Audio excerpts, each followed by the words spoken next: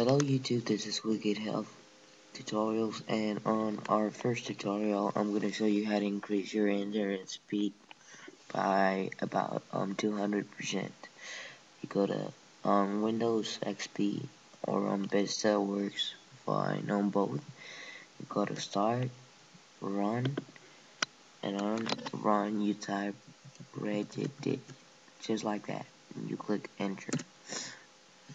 This will appear um, you click local machine right here and you click on system and you click on current control set and you click on services then you scroll down until you see a carpet named TC pipe.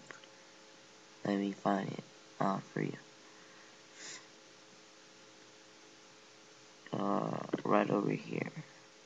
Here it is Pipe. So you open that and you want to click parameters, but don't open it. Just click on it, okay? So you just click on it. And then you click, you right click on an empty slot. You click new, D word, value. And on this you write the following.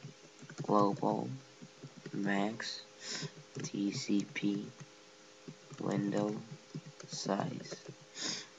Just how you see it right now. You click enter.